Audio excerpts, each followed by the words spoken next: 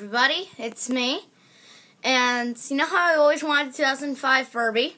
I gladly I found I finally found one. It's good enough. Speak is good. It it's it's un, it's kind of under 20, like it's 20 like it's you know, there's $9 and the crumblings from like the speakers in my dad's office. And I might be getting this.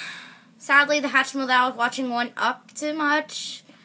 And this is just, you know. And plus, I give shout outs to my friend Zach, Dor- um, me, Zach Dorner. He is a YouTuber too. You know, he's also a YouTuber.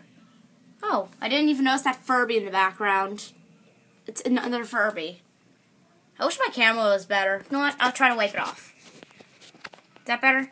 No, that does not make anything better.